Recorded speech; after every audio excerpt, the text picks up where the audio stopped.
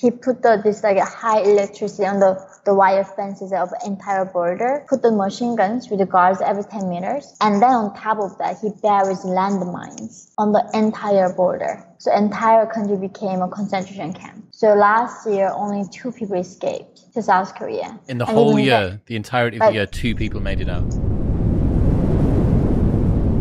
Yeonmi Park, welcome to the show. Thank you for having me, Chris. Looking back now, does it feel like a dream when you think about your time living in North Korea? Totally. you know, uh, when I was watching this movie called Inception, right? There's a very confusing part. You don't know what is dream anymore.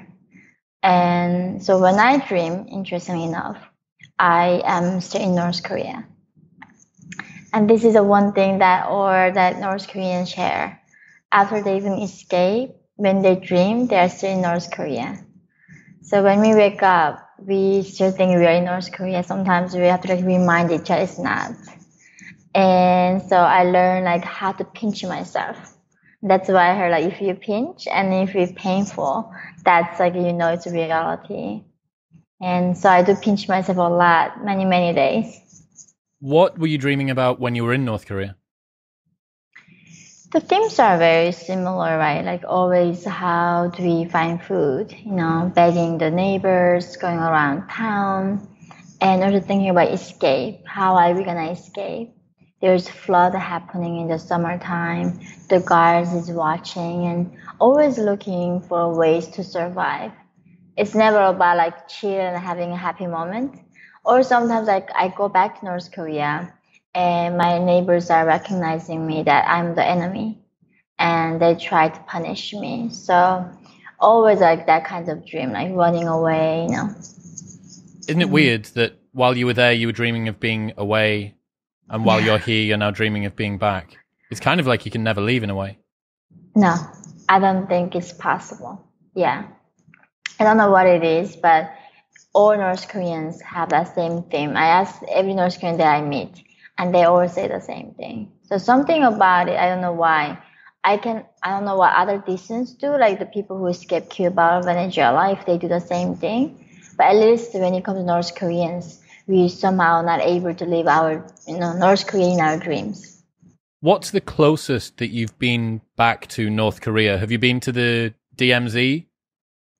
I have not been to the DMZ, but I've been to very close North Korea doing the balloon launches. I don't know if you heard about it. There are NGOs that we uh, use balloons and sending leaflets to North Korea, and it pops it in the North Korean sky.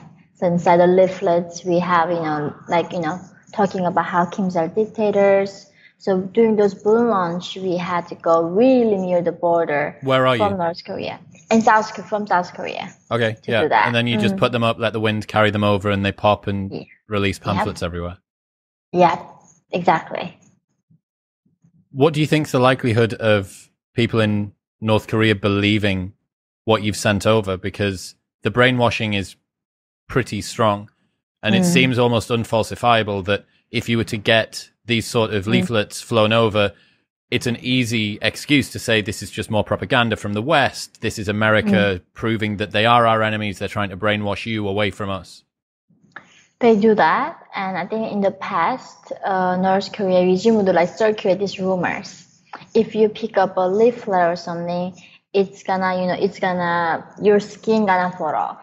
Or you're gonna become a deaf, or your like tongue is gonna lose. Never pick up something that was like, you know, coming from other country. However, you know, people are so desperate.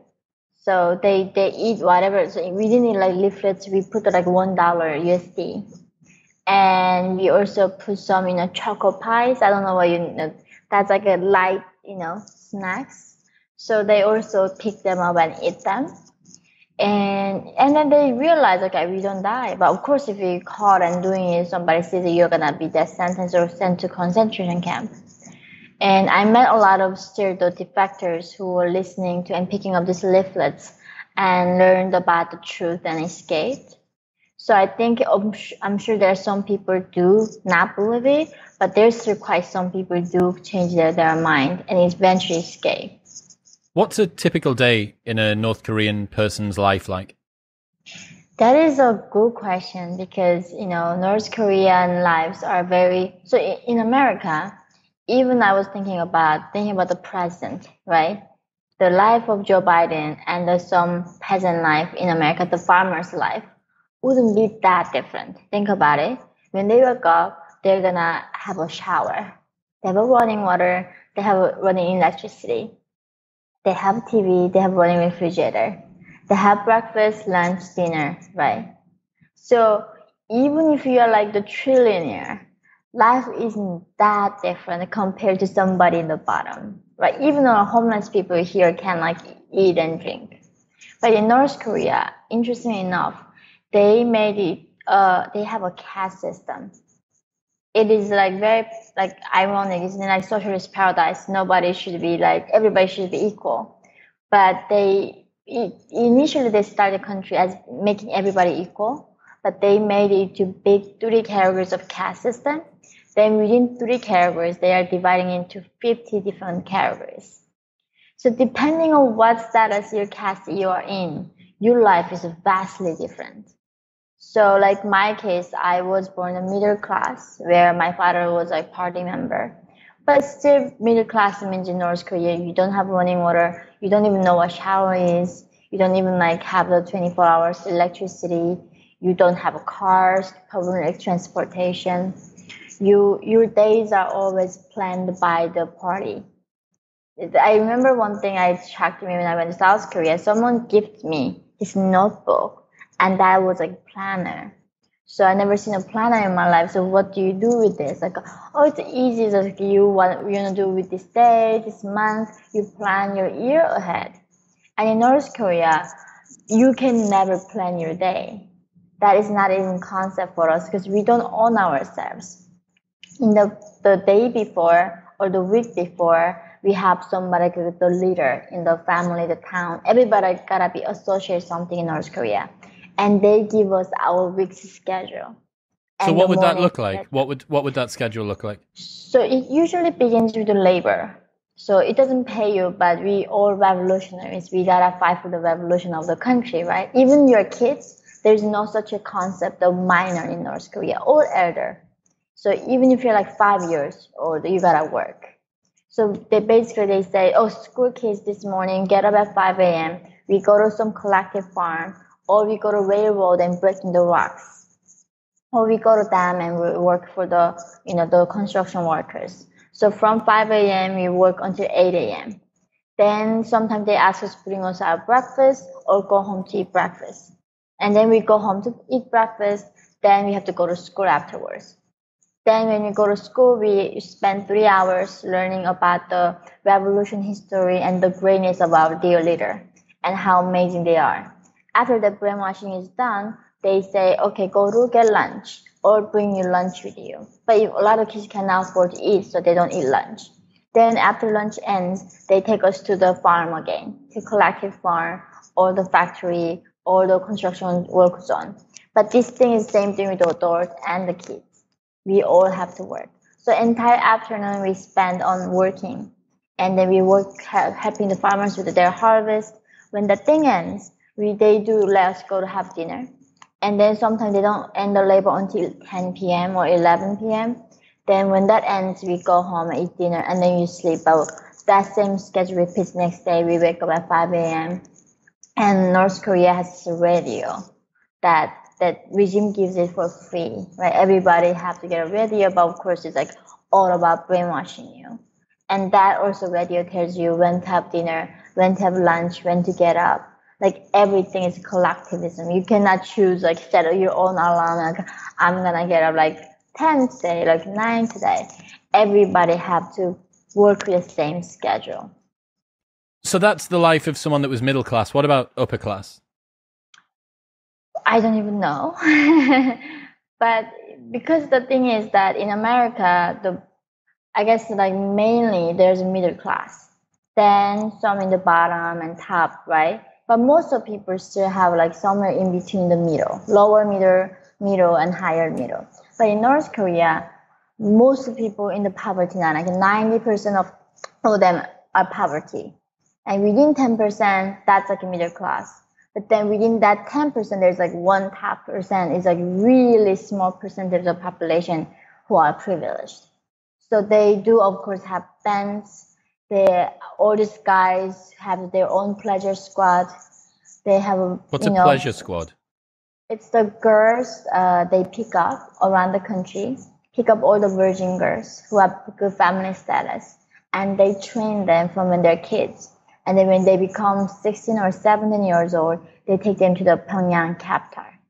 Then they train them to be masseuse, dancer, satisfaction group is like sexual pleasure group. Uh, they divide in different like groups. Then uh, there is a pleasure squad for the Kim Kim Jong Un, the second power, the top elite guys. All have these groups every year. They get a new group to please them. So their lifestyle is like unimaginable.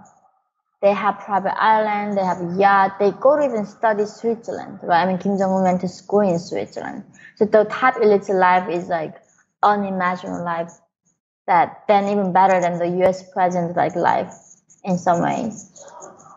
How's this enforced? How do you enforce such a rigid class system? You, well, I mean, in the beginning, North Korea started as a communist, right? Kim Il sung came in and he was an admirer of Lenin and Stalin and Marx. Then he said, okay, we don't like inequality. So why don't we confiscate entire land from people and especially the capitalists? So they were killing the capitalists and getting all the lands from the everybody and nationalize everything. Then they say, okay, nobody owns anything. Now there's no private property. That's how we eliminate inequality, right? Getting rid of everything. After that happened, the, and then Kims were thinking, okay, we still need a ruling class who knows better, who decides the party's direction. So they called like, initially they call themselves as the servants of the people. The, these elites were working for us. And they say, we are the servants for you and you guys are so grateful. You should be so grateful that we have these people who wants to, you know, sacrifice their life for the revolution of our country. And then they, and then they were deciding collective farms. Everything is collective. We decide who becomes farmer. So the party decides. So in North Korea, when you're born, like your life is determined before even your birth. So when I went South Korea, they were saying like, what do you want to do with your life? I was shocked you know, when in North Korea, when you're born, depending on what your great great grandfather did during the Korean War or during the like Japanese colonization, that my status is determined already by the party. And I think that's the biggest difference here is that people can dream your life and design what you want to do. But in North Korea, that's not even like some concept that people understand. And then if you mate between different groups, between different castes, it's only a one way system, right? If you yeah. mate down, the person that is lower doesn't become upper. It's always the person that's upper becomes lower. So you have an increasingly reducing number of people that are at the top, an increasingly larger number of people that are at the bottom. Exactly. So that's the thing. Like that's how they prevent mixing between classes. The sacrifice so they, that you would have to pay in order yeah. to mix between classes as the higher position would be to sacrifice yeah. your place. Yeah, it's really like it's so evil that way. They really prevent people to mix around. So they, I mean, there's no such a thing in North Korea called like marrying up. You only marry down, no matter what. If you marry somebody lower, you go down with them. You can never go up with them. How do people choose their partners then? Let's say that it's not about moving between different classes. Yeah. What does dating look like in North so, Korea? So more the average people, the peasants, they are gonna be a peasant, right? So they are gonna be forever farmers. But in North Korea, farmer means like you're mostly not likely gonna starve to death. Like farmers, the regime do the collective harvesting, and then they take like 98% of the harvest to the elites. So these entire farmers working the farm entire summer and fall and winter, they don't get much food. They get like few grains, few corns a day. So they have to go get the tree barks and to eat the bugs, and that's how they survive. So in North Korea, if you become a farmer, it's almost like death sentence to you. It's uh, it's there's really no hope of surviving. So I think regime is people. I mean, dating is really like dating within your circle. But in the past, though, like dating is romance is really shameful thing. So regime even the, got rid of Mother's Day in 2017 because Kim Jong Un was so paranoid that the, the people's love for the mother gonna distract their love for the leader and the party. So they deny every other love other than the love for the Kims and the party. So people used to be always through like family and setup or the party orders. Like these girls who go become a pleasure squad members, they get the order from the regime. It's called like assignment. So they assign who you should marry. And the elites too, there's all like the regime assigns. So somebody who met Kims, right, they become very privileged, then they set up a day for them. So regime literally decides everything for you. You don't have to do anything there to think. Is there a marriage ceremony? There is. And then the first thing you have to do is when you become a union, you have to go to a statue of kings and pay the respect. And, you know, you gotta like have this like, uh, that's kind of like oath that you're gonna become a good union to support the socialist revolution. And the way why you marry North Korea is not about expressing your love or finding your soulmate, but because you want to serve the party better, become a better revolutionary. That's why you're marrying, not for love. So immediately after making vows to another person, what the regime's trying to do is um, redirect that emotion back to the state straight away. Yeah, yeah, mm-hmm. yeah that's yeah. that's interesting. You said about the farmers and about the fact that 98% of their produce gets taken away. Yeah. I'm going to guess that a lot of farmers must try to sneak bits of their crops to keep stuff behind. Does that happen? No, then you're gonna be kicked and tortured, and you're gonna sent to prison camp. Remember in China during the Mao's uh, five years planning, that anybody who got food and got out of the collective thing, they get severely, severely punished. I mean, you don't like this. These people, when we say these officials, are not just like normal people. They are like the so evil, cruel, cruel like torture, like guards almost, military guards. In that environment, you work. It's very oppressive environment. It's like everybody is a prisoner in North Korea. So you cannot like dare to steer things. Well, you can literally in the concentration camps, right? The kids are working hard and they raise uh, pigs for the officials to eat. And then they feed these corns to pigs. And when they have feces come out and there's in between, there's a corn comes out and this like people inmates eat that and they the guards beat them and torture them even for eating, for eating the corn that's gone through a pig already. Yeah. So that's how they treat human beings.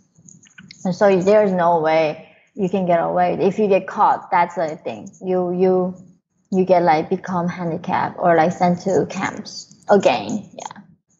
So if 98% of the produce is being taken away from the farmers, mm. plus there's a famine amongst most of the population, yeah. do you think that the there is a bulk of food that's actually being thrown away at the top? Is it just is there more food being produced than the people who are allowed to eat the food can eat? So here's the thing: North Korea farm really struggles because they cannot even have a fertilizer. So, as a North Korean kid, we all have to give things to the party. Initially, they promised that we are gonna give everything for free to you guys. So give us your liberty, we're gonna take care of you. But eventually they'll bring everything to us, right? We are the ones that keeping them alive.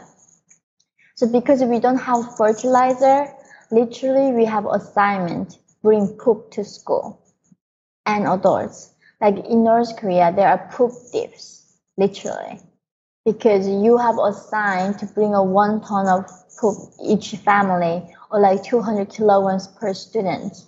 So in the winter time, you don't go to school and then they kick you out of this classroom and go look for poop.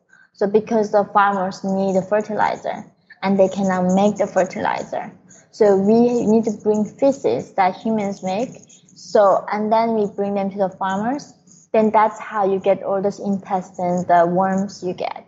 Like there's a one soldier who got caught and through the DMZ, when he got to South Korea, they were seeing these long, long, long worms in his body.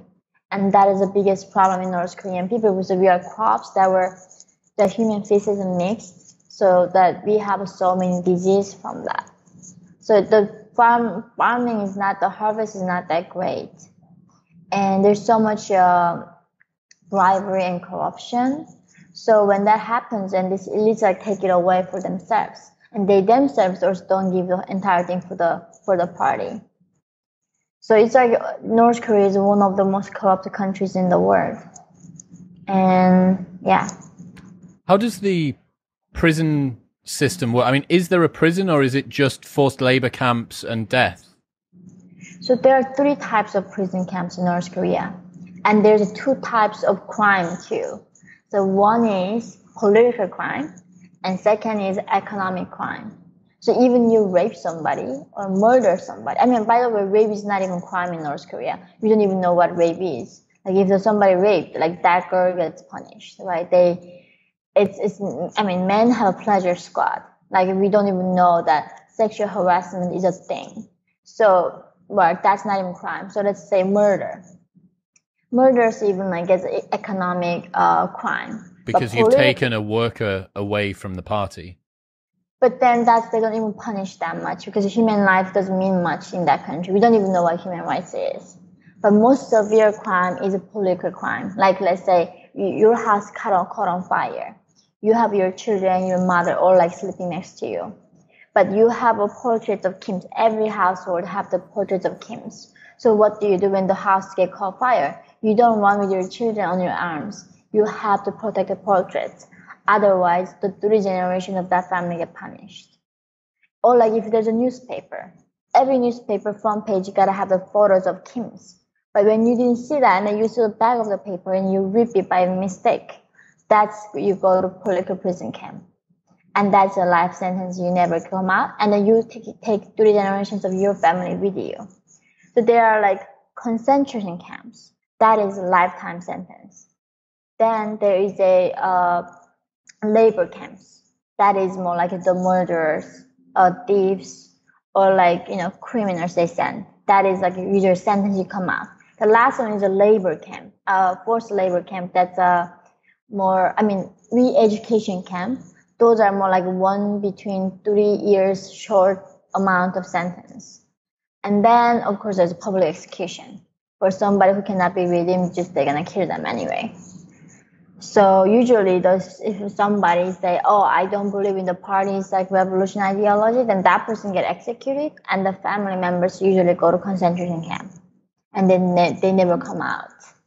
And the North Korea needs this concentration camp like inmates because they need do a lot of the, the chemical tests. You know, there's gas chambers, but North Korea does a lot of bio, you know, weapons. So they need, they use it uh, like inmates and you know do all those tests on them and then they they have to clean the nuclear debris so you know they get deformity and they die from a cancer so they keep creating these uh, political prisoners to do all this job that they don't want the normal population to be exposed to well it's not just the public executions that are executions then there's a lot of other ways that you can be forced to die oh, in, yeah. in these different levels of, of prison? Average lifespan when you sent to political prison camp is three months. Most of them do not last more than three months. Yeah. So when you go to political prison camp, it's better off to be dying right now. So that's why when defectors escaping myself, uh, we were ready to kill ourselves. We were not gonna go send back and be tortured and go to concentration and die. That's the most painful, miserable you can die. You were so certain that you would have gone back and you would have been killed that it's just easier to take your own life instead of suffer. It's not just certain, it's the North Korean regime what they say. So if you go to China and then if you are trying to escape to South Korea, that's that sentence. That's a public execution or concentration camp, like that's a law. So we all know that what the law says. So when North Korean defectors escape, they all like ready to kill themselves. Can you explain about how the lineage from Kim Il Sung sort of through to now has worked Mm. because it's quite an interesting story. Yeah, so this is another irony, right? Like in communism, you don't have a king, but North Korea became a kingdom, right? It's a Kim's, Kim's became not just a king, they became a god for North Koreans. They, so interesting about Kim Il Sung is that the first Kim, his parents were devout Christians. So Kim Il Sung thought, okay, if I copy Bible and telling, so when you become a god, you don't have to be logical. You don't have to explain why things work the way, right? Like it's, it's a higher power. Like, you know, you don't try to understand God's logic. So it becomes much easier to brainwashing population. So he literally copied the Bible saying, I'm a God. I love you guys so much. So I'm giving you my son, Kim Jong-il, who's gonna work for the, you know, the revolution of the country. But his body dies but don't believe that his spirit with us forever. Therefore, he can read your thoughts and minds and how many hair in your head. Exactly what the Bible says, right? That Jesus came, he died, and his spirit with us all the time. And that's how I even believe that Kim's were like reading my thoughts. I was even afraid to think. People in North Korea, the thought crime, like thinking is not like free. So that's how Kim Il Sung came as a communist. And then he making this country confiscate all the land, nationalize everything. And he was, I think, more dreamer. He really wanted, thought, I think communism would work. I don't know what he thought, but however, when it came to his son, they knew that this thing is for themselves, obviously, and brutally pur- purge every time the new king comes. And now Kim Jong Un time, the top official's lifespan is only three years too. So Kim Jong Un is killing everybody every three years, so they don't get corrupt and then consolidate power, so you cannot start a coup. So when you become a top elite, if you're staying there a long time, you are going to consolidate power and get the build allies. By Kim Jong Un execute them and punishing them every three years. By doing that, he get eliminates any competition. Where do you think the paranoia comes from? Is this something that they've been taught by their parents? Have they got a very strong genetic trait for just being unbelievably anxious? What's going on?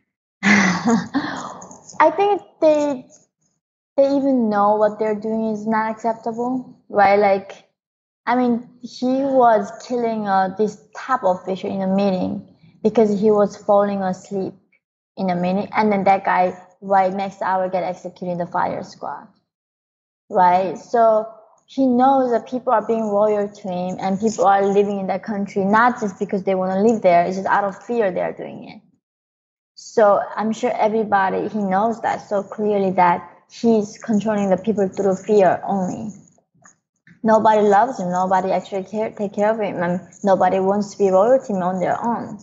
So I think in a way that paranoia is legitimate, but he doesn't have to be that way, right? If he tries to make things really better, and why would anybody not want to be there?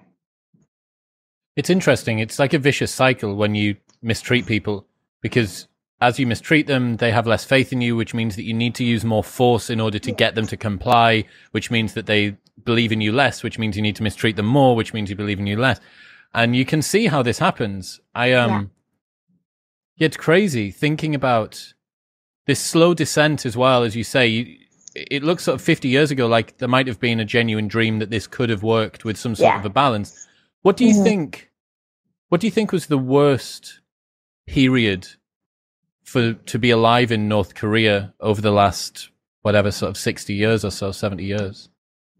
Worst period, I think, is definitely the 90s after Soviet Union collapsed, right? So in the North Korea began in the 50s. After the World War II, the Japan left and the Korea became independent and Korean War begins. And then, of course, America come defend South Korea. So everything departed in 1953. From there on, North Korean economy was heavily subsidized by Soviet Union and China because that was a Cold War. They wanted the, the communism to win. So they were like, why even the Soviet Union going bankrupt themselves, they're heavily subsidizing North Korean economy.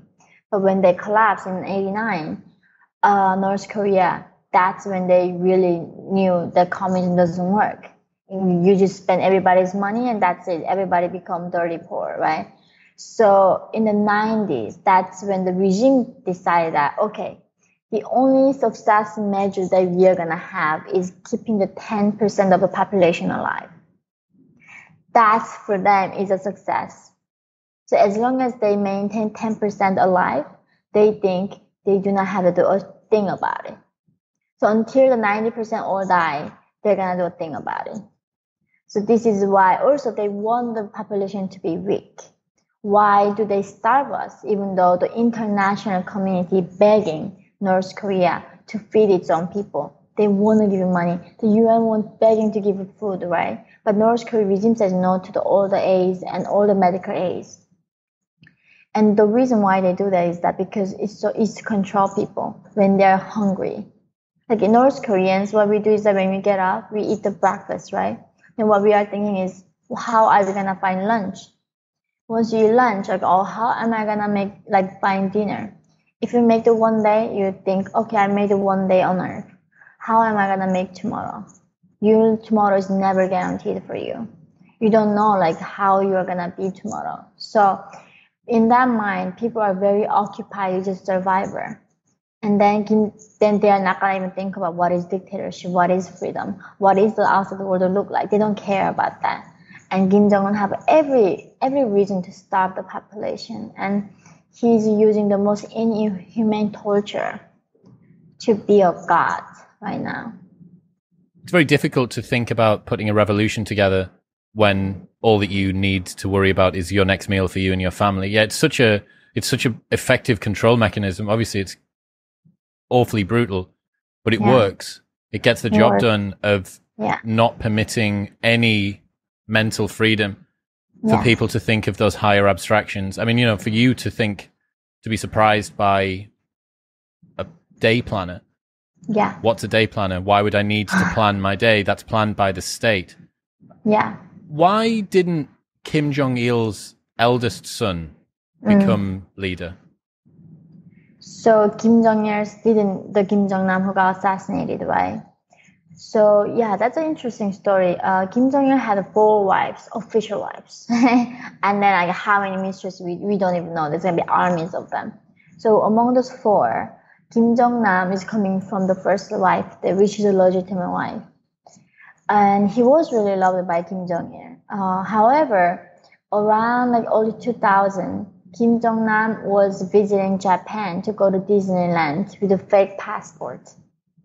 On the way back, he got caught, and journalists took photos of him, and then it became an international like embarrassment.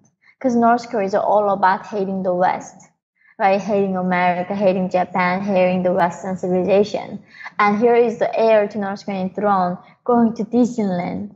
So it was such an embarrassment. And that's when Kim Jong Kim Jong Il were like almost banished him. And that's how he. But the thing is, Kim Jong Nam was a way more free spirit. He wasn't interested in like power. He wasn't interested in control he was more interested in like opening up the economy. Let's learn from the West. Let's learn like what we can do better. And he was more like a believer of a Chinese direction that Chinese Communist Party took, which is the opening up the economy. We don't have to change the party, Communist Party, but can we at least open the economy so people get fed? fed? But of course, North regime like then no, we don't want that. So his ideology did not meet that what his father dreamed of. And then his third wife, which was also pleasure squad, that she was I think a dancer, and she had a son, Kim Jong Un, which was a second son, not even the first son. He was very ambitious. He was very brutal and cruel, like his own father. So Kim Jong Il saw Kim Jong Un, and then like, oh my God, I see myself in you. So you are gonna be the next steel leader, and he became one. So the Kim Jong Nam, I'm trying to keep yeah. up with all of the names here. Mm, mm. He um he was misaligned to be the sort of leader that everybody needed in any case. Do you think because he was killed only a yeah. couple of years ago, he was assassinated. Mm. Um, but it seems like the trip to Japan was a convenient excuse for somebody that probably didn't meet the criteria to be a leader in any case. Yeah, no, he wasn't gonna be that brutal and kill the uncle. Like literally, Kim Jong Un is way more brutal than any previous Kims. He used uh, this like aircraft that shoots down the airplane. He used that to execute people. So it makes the people become a dust, literally. Like you become into pieces of just blood and like that's a thing. That's how executes people and to show the actual terror.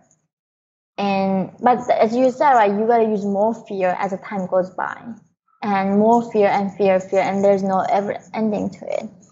And Kim Jong Un, like literally, when he executed his own uncle, said he has no place to be buried in this land, so make him into dust. That's why he they use the aircraft that gone almost to shoot him down, so he became into pieces, and nobody could collect his bodies. Afterwards. What was the uh, what was the outcome? Because he got was it a nerve agent in Singapore or Japan or something? No, Malaysia. Malaysia. So that was a bro- that was a brother, but the uncle when Kim Jong Un was killing his uncle. But like Kim Jong Nam's case, like the nerve agent that they rubbed in his nose and face, and then he just died within a few minutes and his body was sent to Pyongyang afterwards, and we don't know what they did with his body, but he was killed in the, and it, it was so sad because he was providing information to the U.S. intelligence for the last 10 years, and then U.S. didn't do a thing about protecting him. Like he was on that trip meeting a CIA agent in the northern island of Malaysia for two days. After he was giving all the information, and when he was about to go home back to his family, they killed him. And this is so sad. Like nobody protects anybody at this point. Did you hear the story of why the two women that rubbed the rag in his face did it, or Yeah. why they said? Yeah. So they claimed that they were that they'd been told that they were doing a prank on a TV show. Yeah. Is that right? Mhm. Yeah, they, they told, oh, this is going to be some prank TV show. This makes no sense. I mean, these girls were like not touching themselves, the thing. They were going, washing their hands, like very carefully with that. I mean, if that was a prank, why would they do that? So, but the thing is, point is that I think even those girls were victims. They were, I don't, I don't really don't think that's important. They knew or not. The most important thing is how there is no revenge or no accountability There's no justice. the No. yeah, no, but even Jamal Khashoggi, the Saudi journalist, we all know that when he got chopped off into pieces in the Saudi council in Turkey, there's no consequences for killing a dissident. That is the world that we are living in. Like, of course, people talk about injustice all the time, but this is a clear injustice. These are clear murderers. It's a good And control. no- It's a great control mechanism, right? If as a mm-hmm. dissident, you know that not only are you probably going to be killed, but that the people that are going to kill you aren't going to be brought to account. And the more Yes. that this happens, the more that dissidents, killers aren't put on trial or aren't called to account for the things that they've done, the more fear it instills in people that want to speak out against regimes Yeah. that need it, and the more it mm-hmm. empowers the regimes that want to control their population.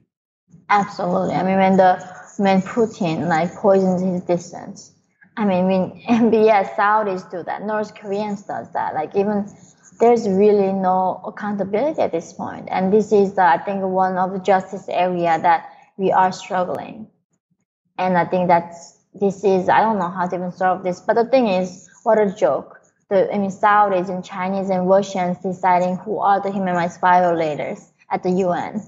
So this is a, almost a joke to me that Michael a Malice.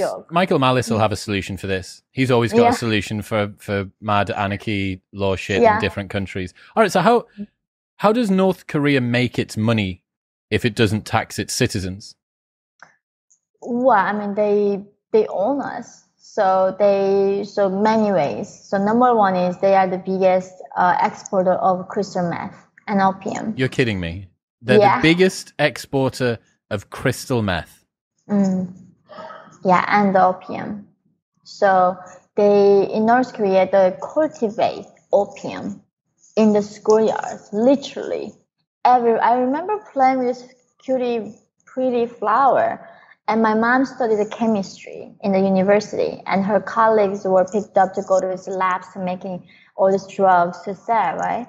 So North Korea, 60% of the even teenagers got addicted to these drugs because when you are sick in North Korea, you don't have medicine, free healthcare. But I, I had my appendix removed. There's like no anesthesia. They cut bones without anesthesia. So when people get sick, they take the drug to relieve the pain and that's how they become like when little toddler gets cold and they don't know what to do ammonia pneumonia or something then parents give them like opium to relieve the pain and we don't even know what this thing is because regime cultivates it right? We don't have a knowledge of it. So they sell the crystal meth, they export it everywhere to the world.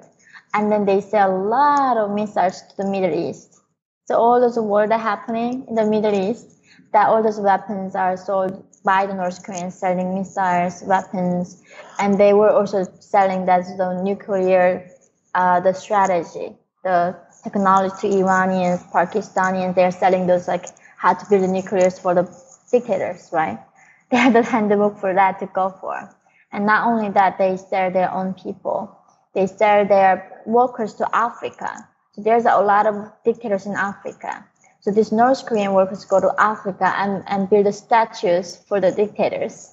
Because North Koreans are good at building statues, right? That's like what all we got. So all the statues you see of dictators in Africa are built by North Koreans. And then they in the world, they work in Qatar, Poland, in Siberia, in China, and they work as a cutting wood or there's like really going to miner. So would it be if you were chosen to go to one of these other countries, presumably you're going to live under slightly more luxurious circumstances than you're going to. No, you're going to be even worse in Poland or in Africa? Absolutely. They build a camp for you. When you go abroad, they build a camp, like prison camp.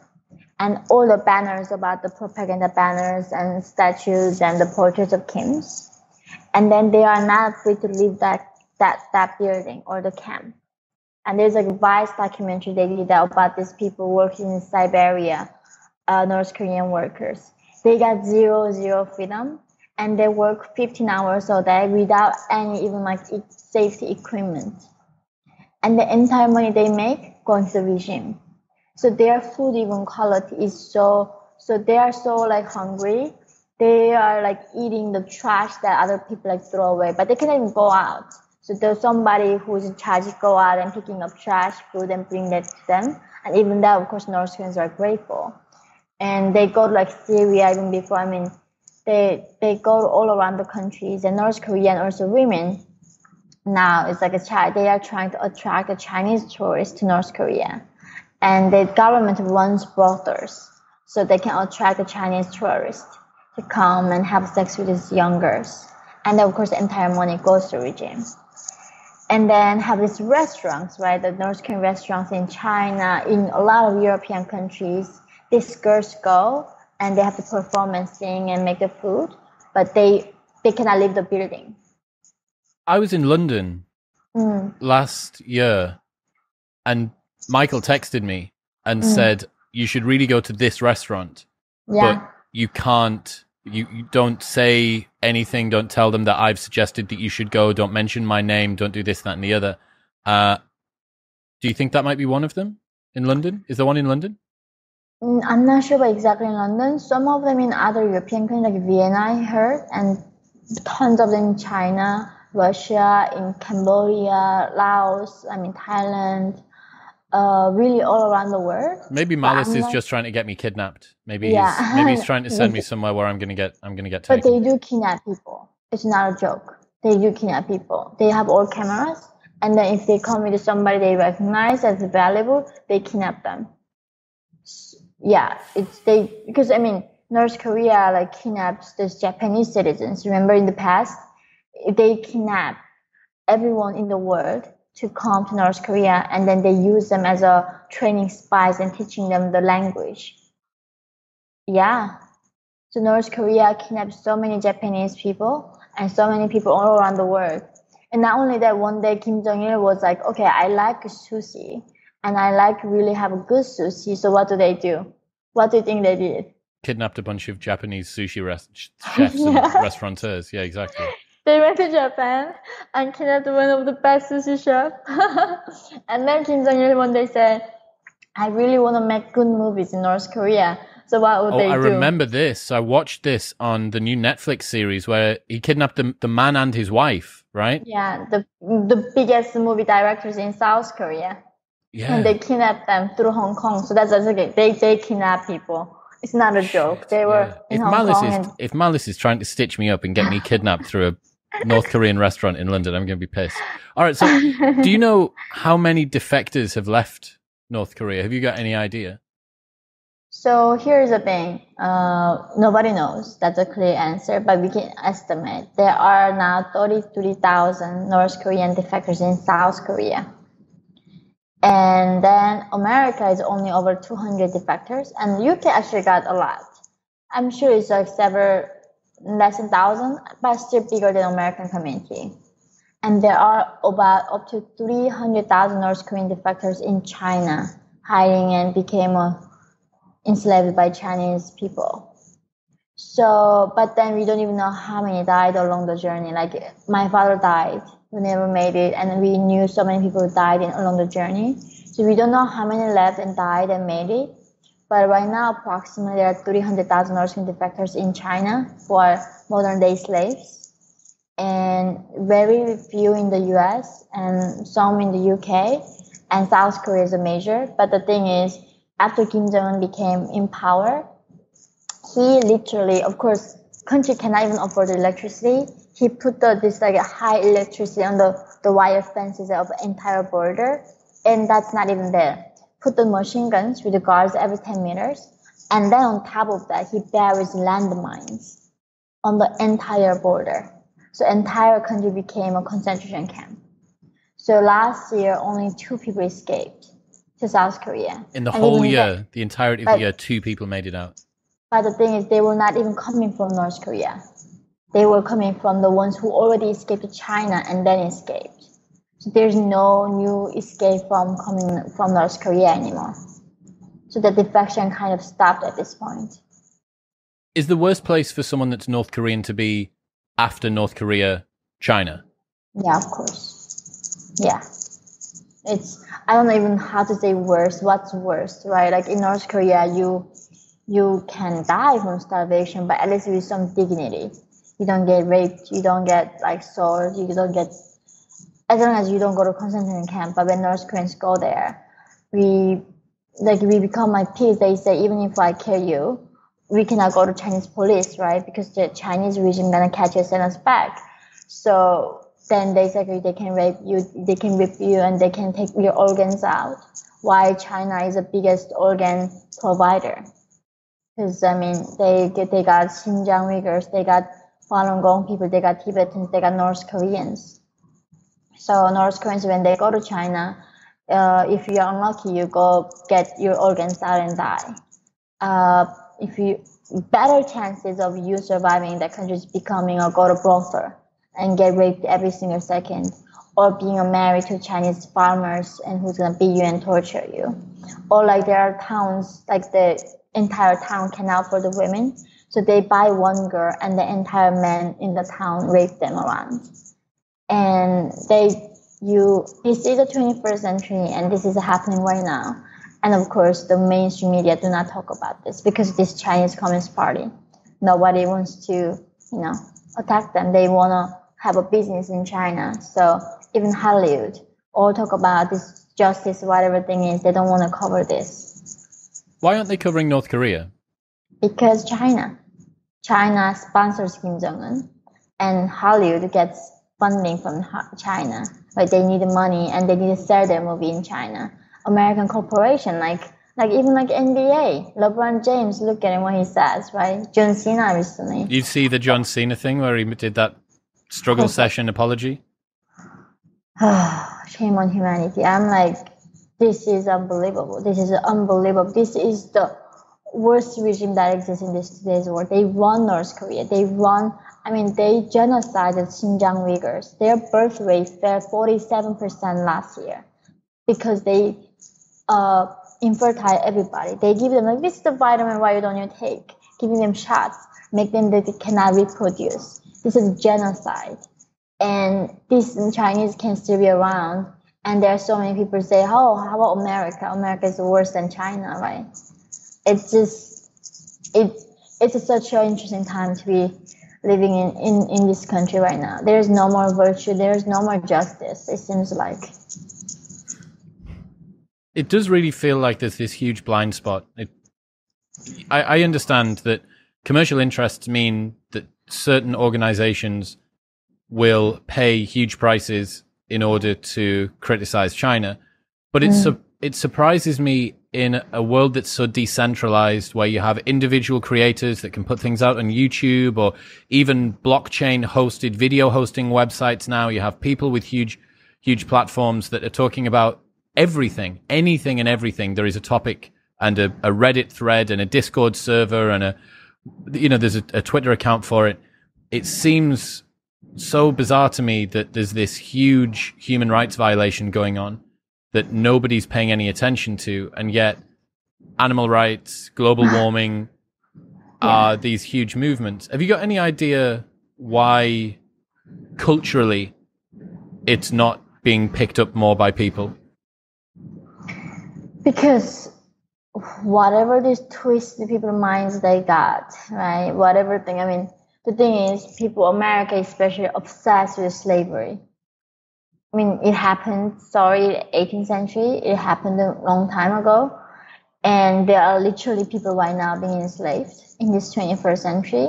So the thing is, if the slavery that matters, that happened like a few centuries ago, why the slavery that's happening right now is not matter to you?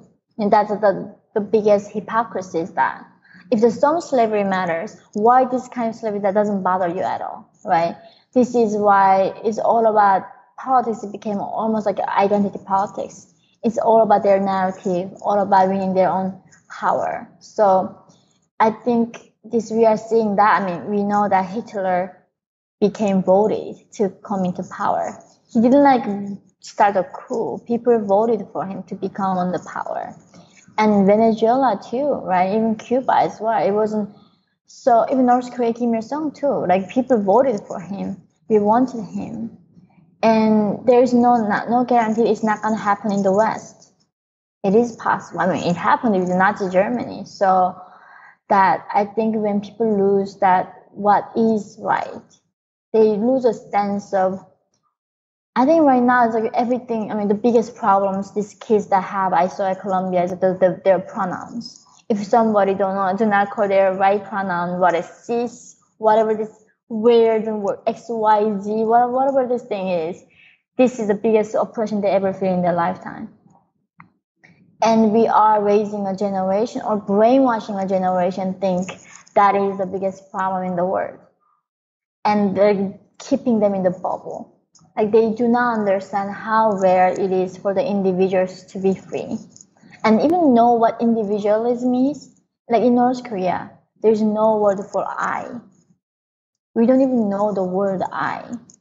So when I went to South Korea, they were asking me like introduce yourself, and this is all North Koreans do. Like we from North Korea, we from Hyesan, we love like this food, and they're like, what do you mean we? Like you, you, I. And in North Korea, that's how they like even get rid of this concept like freedom, human rights, and I. And the fact that we know what I is, that's a privilege. And of course these people for them is the biggest oppression is that you know the pronouns. So yeah i don't know. I'm i'm are you hopeful? Not really to be honest. Yeah. I mean yeah, no. it, it seems like china is such an obvious target for everybody to be concerned about the militarization of the south china sea i watched some documentary about this the other day that's terrifying they mm. are taking over territory in northern Pakistan. They've got this Belt and Road Initiative. They mm. are exporting more and more technology around the world. They've got disinformation campaigns. And then you see how easy it is to socially or culturally hijack countries like the UK or the US with particular movements.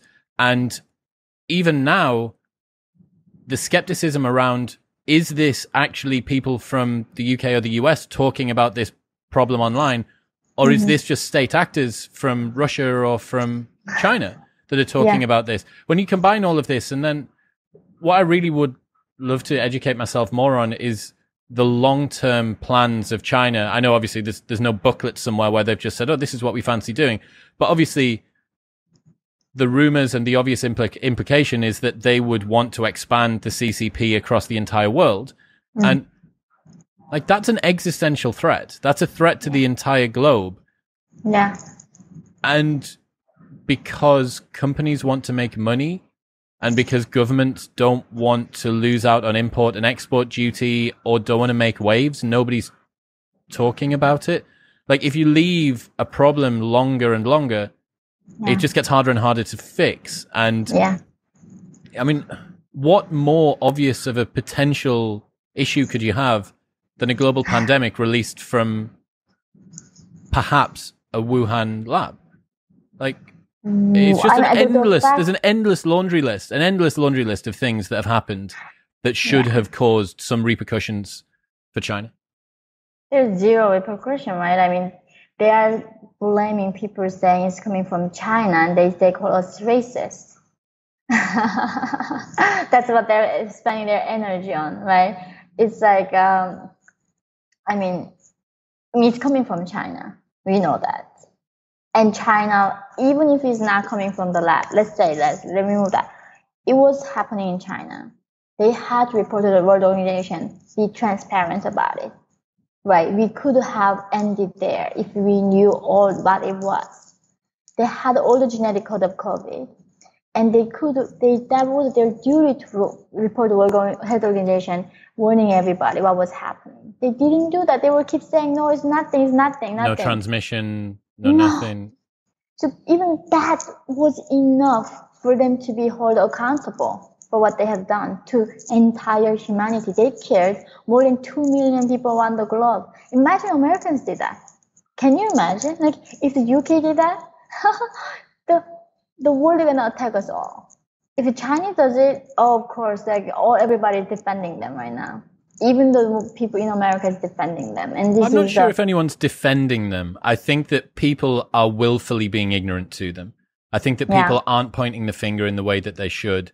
Um, but yet, you, I wonder whether the deconstruction of patriotism and of pride in countries like the UK and the USA, it wouldn't. So, I mean, if it's not Russia or China's plan, they must be sitting back and thinking they're just doing our work for us. Because yeah. the one thing that would work against an aggressive nation state like Russia or China would be a proud country that said, we want to protect our national sovereignty. We're concerned about what's happening over there. And you create an in group and out group dynamic, right? You have the mm-hmm. out group that's China. We need to protect ourselves. Perhaps we're stewards of the earth. You know, USA used to be the people, Team USA. I know it's a, a satirical movie, but that, that whole movie was all about them being guardians of the globe.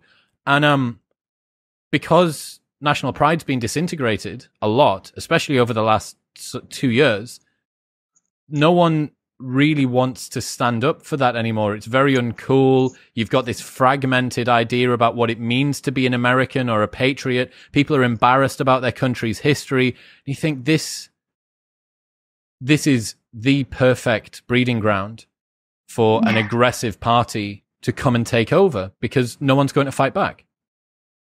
But that's the thing. I think it's, it's not just that this happened this way at this point. I think it's some kind of behind the scene thing have infiltrated this way. I don't think American people chose to be this way and be so ungrateful and so ignorant of the past and the history, right? Like, I mean, slavery began with the dawn of humanity. It's still happening and still holding the slavery piece in against the entire American nation and saying this country, only solution to this country is tear down everything and rebuild something, right? That's the thing these people in the US now voluntarily want to bring down the country, bring down the system, and bring, I mean, like get rid of the U.S. Constitution, right?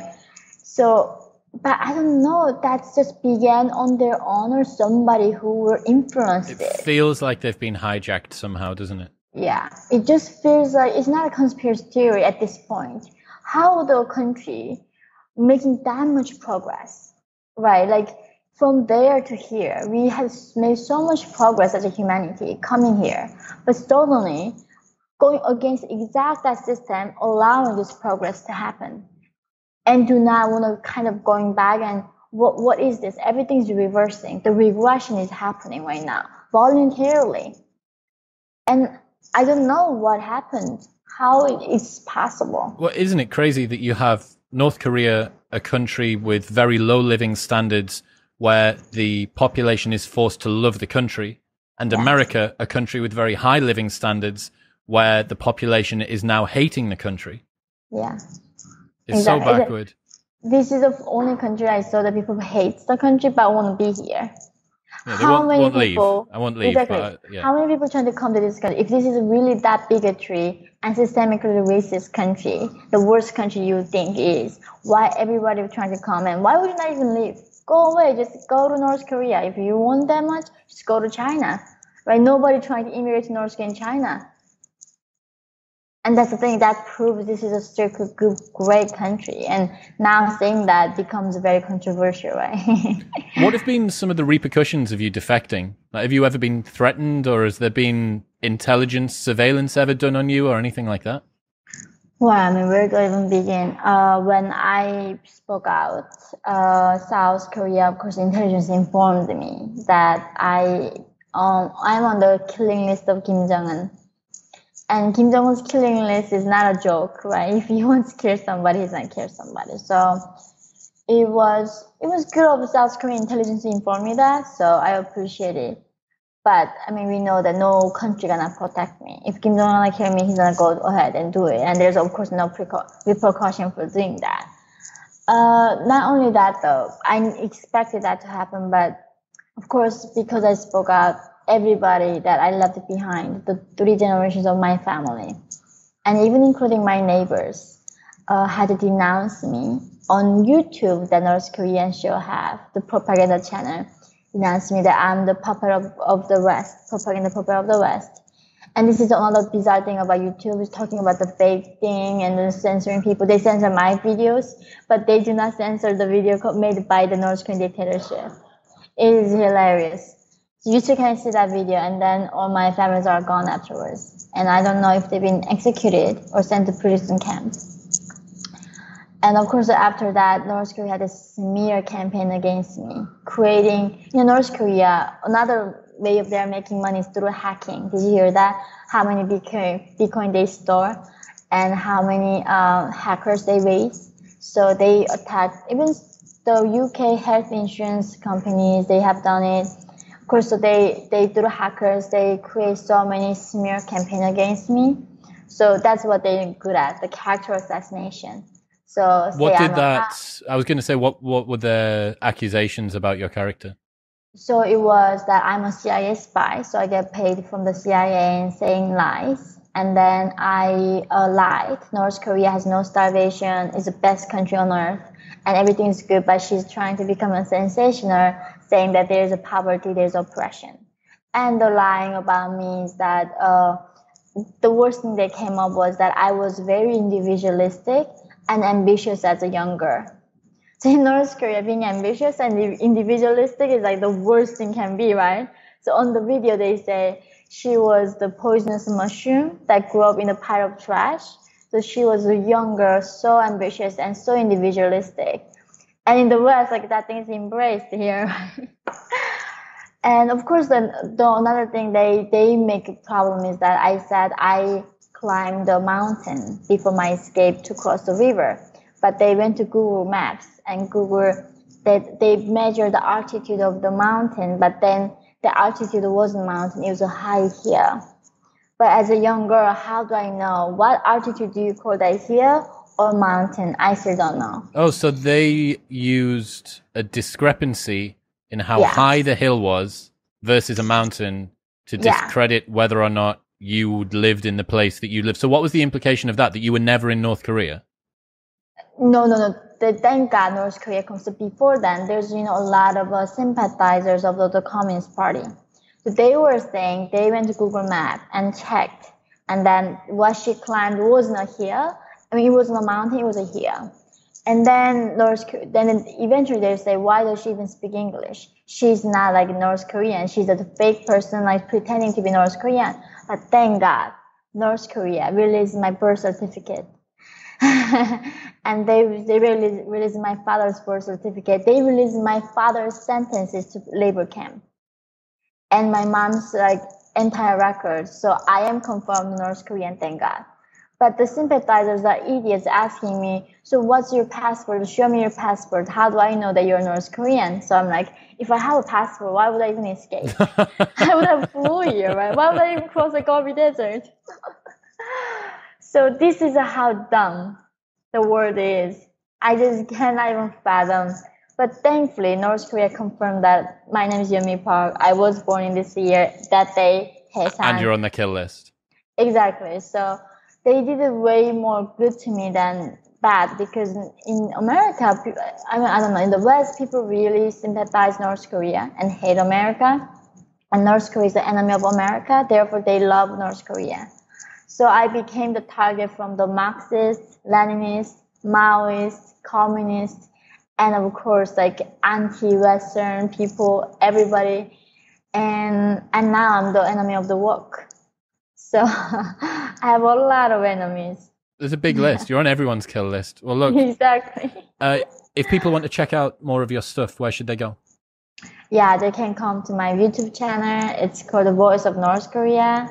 And they can find me on Twitter and you know, Instagram, not on TikTok though. Everything else, yeah.